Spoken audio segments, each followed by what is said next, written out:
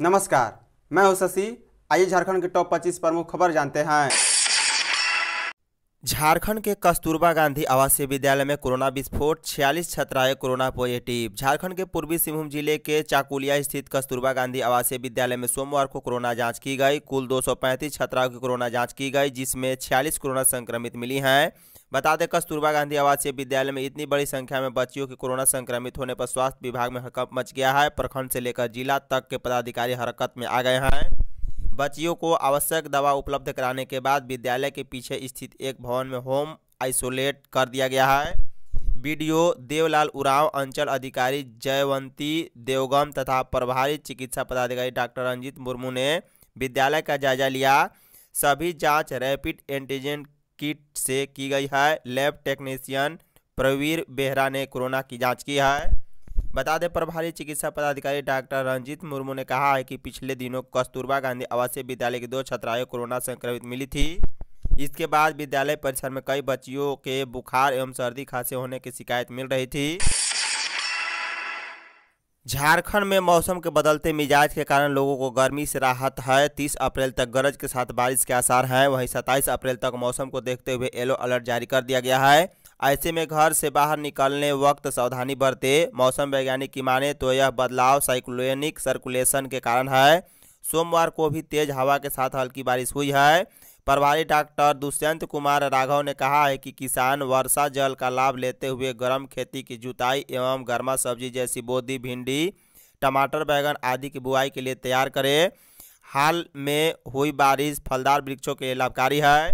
बता दें, आने वाले पाँच दिनों में गर्मी से आम लोगों को राहत मिलने वाली है। कृषि विज्ञान केंद्र, मांडू, रामगढ़ के मौसम पर्यवेक्षक शशिकांत चौबे ने बताया है कि आने वाले दिनों में भी मौसम का मिजाज आम जनों को राहत देने वाला है। झारखंड के सरायकेला में दो टीचर्स की होगी नियुक्ति। कोल्हान के सरायकेला, खरसावा ज़िले के विभिन्न स्कूलों में रिक्त पड़े शिक्षकों के पद शीघ्र भरे जाएँगे। छात्र छात्राओं के हिसाब से पद सृजित कर नियुक्ति के लिए राज्य सरकार को प्रस्ताव भेजा जाएगा। इस संबंध में समानालय सभा कक्ष में सोमवार को डीसी अरवा राजकमल की अध्यक्षता में प्रारंभिक शिक्षा समिति की बैठक हुई। बैठक में विद्यार्थियों के हिसाब से कक्षा एक से पाँच कक्षा के लिए आठ सौ पैंसठ और कक्षा छः से आठ के लिए तेरह सौ चौहत्तर शिक्षक पद के सृजन पर सर्वसम्मति से निर्णय लिया गया। इसके बाद नियुक्ति के लिए विभाग को प्रस्ताव भेजा जाएगा। बता दें, बैठक में समिति सदस्यों के सुझावों पर कई बिंदुवार चर्चा की गई। विभिन्न विद्यालय से प्राप्त प्रस्ताव में त्रुटियों पर चर्चा कर उसे दूर करने का भी निर्णय लिया गया। बैठक में डीडीसी प्रवीण कुमार भी उपस्थित थे। बन्ना गुप्ता मामले में बीजेपी ने की एसआईटी जाँच की मांग। स्वास्थ्य मंत्री बन्ना गुप्ता का वायरल वीडियो पर सियासत तेज है। विपक्षी दल बीजेपी ने इस बहाने सरकार को घेरने में जुट गई है। बीजेपी ने मुख्यमंत्री हेमंत सोरेन से पूरे प्रकरण की जाँच एसआईटी से कराने की मांग करते हुए वायरल वीडियो की सत्यता स्पष्ट करने को कहा है। वहीं झारखंड मुक्ति मोर्चा ने इस प्रकरण को दुर्भाग्यपूर्ण और शर्मनाक बताते हुए इसकी निंदा की है और कहा है कि स्वास्थ्य मंत्री हनी ट्रैप के शिकार हुए हैं। वहीं राष्ट्रीय जनता दल और कांग्रेस ने पहले पूरे मामले की निष्पक्ष जाँच कराने की मांग की। बता दें, बीजेपी प्रदेश प्रवक्ता प्रतुल सहदेव ने कांग्रेस पर हमला बोलते हुए कहा है कि इस संबंध में स्वास्थ्य मंत्री बन्ना गुप्ता पर अब तक कार्रवाई नहीं होना हास्यपद है। बन्ना गुप्ता को तत्काल स्वास्थ्य मंत्री के पद से हटा देना चाहिए। यदि वीडियो असत्य निकलता है तो फिर से स्वास्थ्य मंत्री के रूप में बन्ना गुप्ता की ज़िम्मेदारी दी जा सकती है। मगर इस संबंध में कांग्रेस नेता राहुल गांधी और प्रियंका वाड्रा की चुप्पी से आश्चर्य होता है। प्रतुल सहदेव ने कहा है कि तेज़ी से वायरल हो रहे इस वीडियो के कारण झारखंड की छवि धूमिल होने की बात कहते हुए कहा है कि मुख्यमंत्री हेमंत सोरेन इस वायरल वीडियो की सत्यता की जाँच जल्द से जल्द कराए। रिमोट वोटिंग मशीन के विरोध में Jhamumo Jharkhand Mukti Morcha remote voting machine के उपयोग के पक्ष में नहीं है। झामुमो ने अपनी राय से सोमवार को भारत निर्वाचन आयोग को अवगत करा दिया है। पार्टी की ओर से वरीय नेता सुप्रियो भट्टाचार्य ने इसकी जानकारी दी है। सुप्रियो भट्टाचार्य ने कहा, आयोग द्वारा मिले समय के अंदर झामुमो ने अपने पक्ष से निर्वाचन आयोग को अवगत करा दिया है। रिमोट वोटिंग मशीन को अमली जमा पहनाने के लिए 16 जनवरी को दिल्ली में चुनाव आयोग ने कार्यशाला रखा था। कार्यशाला में राजनीतिक दलों के समक्ष आरबीएम के उपयोग और इसके प्रदर्शन का डेमो भी किया गया था। इसके बाद सभी दलों से आरबीएम को लेकर अपने अपने पक्ष के अवगत कराने को कहा था। इसी के अनुसार तय समय में झामो को अपना पक्ष चुनाव आयोग के समक्ष रखना था। बन्ना गुप्ता का अश्लील वीडियो मंत्री पद से देना पड़ सकता है इस्तीफा। झारखंड के स्वास्थ्य मंत्री बन्ना गुप्ता का सोशल मीडिया पर वायरल हो रहा अश्लील वीडियो। कांग्रेस की गले की फांस बनता नज़र आ रहा है। मंत्री ने इस मामले में जमशेदपुर के साइबर थाने में प्राथमिकी दर्ज कराई है। इस प्रकरण ने मुख्य विरोधी दल भाजपा को निशाना साधने का मौका दे दिया है। बता दें, हेमंत सरकार में कांग्रेस कोटे के मंत्री बन्ना गुप्ता को लेकर फ़िलहाल सत्तारूढ़ गठबंधन के दलों ने चुप्पी साध रखी है। जबकि कांग्रेस में भीतर खाने खलबली हुई है। बाहरी तौर पर पार्टी ने प्रवक्ताओं को सामने कर रखा है, लेकिन भीतर ही भीतर कांग्रेस को नुकसान की चिंता सता रही है। यही वजह है कि सोमवार को नई दिल्ली मुख्यालय से प्रदेश कांग्रेस प्रभारी अविनाश पांडे ने इस मामले की जानकारी वरीय नेताओं से ली है। कोडरमा में पुलिस वैन और कंटेनर की टक्कर में एक पुलिसकर्मी की गई जान, दर्जन भर पुलिसकर्मी घायल। रांची, पटना, एनएच इकतीस के उरवा गौरी नदी पुल के पास सोमवार दोपहर करीब 12 बजे एक पुलिस वैन और कंटेनर की ज़बरदस्त सीधी टक्कर हो गई। इस भीषण टक्कर में करीब एक दर्जन पुलिसकर्मी घायल हो गए, जबकि एक जवान गणेश भगत की मौत हो गई। इस दुर्घटना में घायल एक अन्य पुलिसकर्मी की हालत काफ़ी गंभीर बताई जा रही है। इसके अलावा अन्य जवानों को भी गंभीर चोटें आई है, जिनका अस्पताल में इलाज चल रहा है। दुर्घटना के बाद वाहन में फंसे कंटेनर ड्राइवर को काफ़ी मकसद के बाद बाहर निकाला जा सका। जानकारी के अनुसार, कोडरमा पुलिस लाइन के करीब एक दर्जन पुलिसकर्मी पुलिस वैन पर सवार होकर पुलिस लाइन चंदवारा लौट रहे थे। पुलिस के सभी जवान तिलेयर डैम ओपी क्षेत्र में ईद के मौके पर शांति व्यवस्था कायम रखने के लिए तैनात किए गए थे।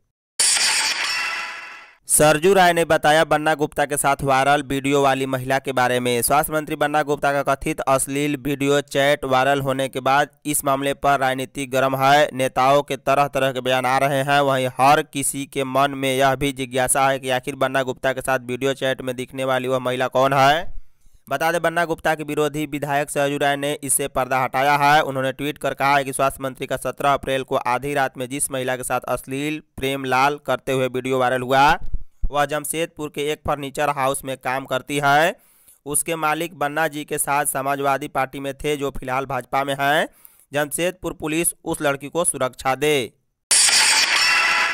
हजारीबाग में सेंटर ऑफ़ एक्सीलेंस चयन के लिए खिलाड़ियों ने दिखाया दम। झारखंड खेल प्राधिकरण के तत्वाधान में सेंटर फॉर एक्सीलेंस फुटबॉल के लिए 16 से 22 वर्ष तक के बालक एवं बालिका खिलाड़ियों का दो दिवसीय चयन करजन स्टेडियम हजारीबाग में शुरू हुआ। इसमें हजारीबाग, रांची, रामगढ़, बोकारो, गिरिडीह, चतरा खुट्टी गुमला, धनबाद सरायकला कुडरमा लोहरदगा ज़िले के खिलाड़ियों ने भाग लिया। राज्यपाल से मिले मुख्य न्यायाधीश। राज्यपाल सीपी राधाकृष्णन से सोमवार को झारखंड हाईकोर्ट के मुख्य न्यायाधीश न्यायमूर्ति संजय कुमार मिश्र ने राजभवन में मुलाकात की। राजभवन के आधिकारिक सूत्रों ने बताया है कि यह शिष्टाचार भेंट थी।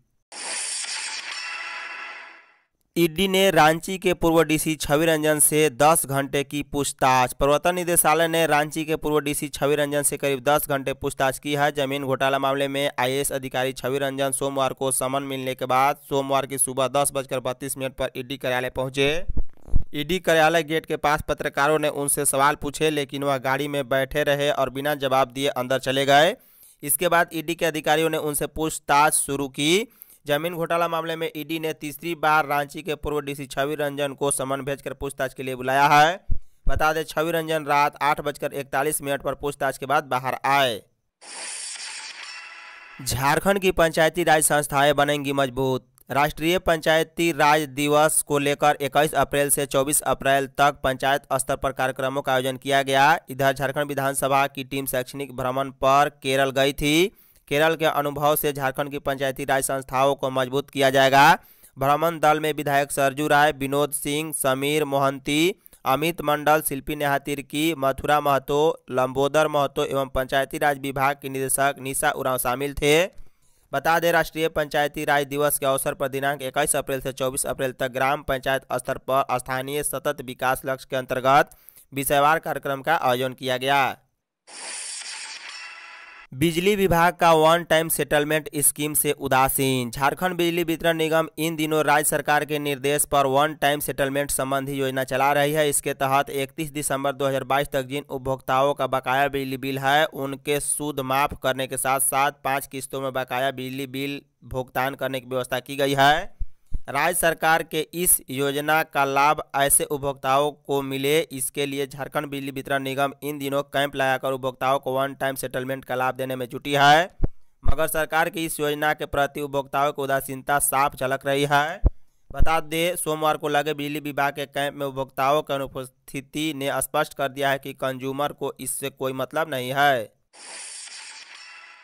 धनबाद में बढ़ते प्रदूषण को लेकर हाई कोर्ट गंभीर झारखंड हाई कोर्ट ने धनबाद शहर में बढ़ते वायु ध्वनि एवं कोयला प्रदूषण की रोकथाम को लेकर दायर जनहित याचिका पर सुनवाई की। चीफ जस्टिस संजय कुमार मिश्र एवं जस्टिस आनंद सेन की खंडपीठ ने मामले की सुनवाई के दौरान प्रतिवादी झारखंड स्टेट प्रदूषण नियंत्रण बोर्ड एवं बीसीसीएल की ओर से दायर जवाब को देखा। खंडपीठ ने जेएसपीसीबी से जानना चाहा कि धनबाद में बढ़ते प्रदूषण की रोकने के लिए और क्या क्या कदम उठाया जा सकता है। उसके लिए बोर्ड के पास क्या योजना है? शपथ पत्र के माध्यम से कोर्ट को अवगत कराने का निर्देश दिया गया। मामले की अगली सुनवाई के लिए खंडपीठ ने 19 जून की तिथि निर्धारित की है। झारखंड के स्वास्थ्य मंत्री बन्ना गुप्ता की वीडियो वायरल होते ही एक्शन में कांग्रेस। झारखंड के स्वास्थ्य मंत्री बन्ना गुप्ता का एक महिला से वीडियो कॉल का वीडियो वायरल हो गया है। प्रदेश के मंत्री की इस हरकत को कांग्रेस पार्टी ने गंभीरता से लिया है। ऐसे संकेत मिल रहे हैं कि सोमवार देर शाम तक उनके खिलाफ कांग्रेस पार्टी की ओर से सख्त कार्रवाई हो सकती है।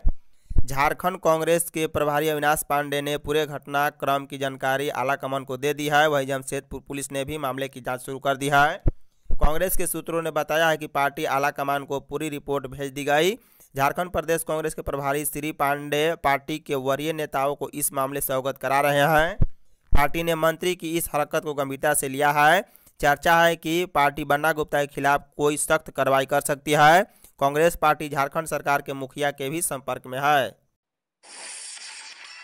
स्वास्थ्य कर्मियों का आंदोलन शुरू, तीन मई को बन्ना गुप्ता का घेराव स्वास्थ्य विभाग में कार्यरत एमपीडब्ल्यू स्वास्थ्य कर्मी अपनी मांगों के समर्थन में 24 अप्रैल से चरणबद्ध आंदोलन शुरू कर दिए हैं। संघ के अध्यक्ष पवन कुमार और महासचिव मंगल हेम्ब्रम ने ज्ञापन सौंपकर इसकी जानकारी मुख्यमंत्री, स्वास्थ्य मंत्री, मुख्य सचिव अपर मुख्य सचिव, स्वास्थ्य विभाग समेत विभागीय अधिकारियों को दे दी है। बता दें, संघ के नेताओं का कहना है कि 22 मार्च को संगठन ने अपनी विभिन्न मांगों को विभाग और सरकार के समक्ष रखा था, लेकिन इस पर अभी तक पहल शुरू नहीं हुई है। इसे लेकर स्वास्थ्य कर्मियों में रोष व्याप्त है। चरणबद्ध आंदोलन के तहत स्वास्थ्यकर्मी चौबीस 24 व 25 को कल्ला बिला लगाकर अपना विरोध दर्ज करेंगे। वहीं 26 व 27 अप्रैल को अपनी मांगों के समर्थन में तख्ती लगाकर विरोध दर्ज करेंगे। वहीं 28 को उपवास रखेंगे व 29 को सिविल सर्जन को मांग पत्र सौंपेंगे। झारखंड के पास नहीं कोरोना वैक्सीन, केंद्र से की गई थी मांग।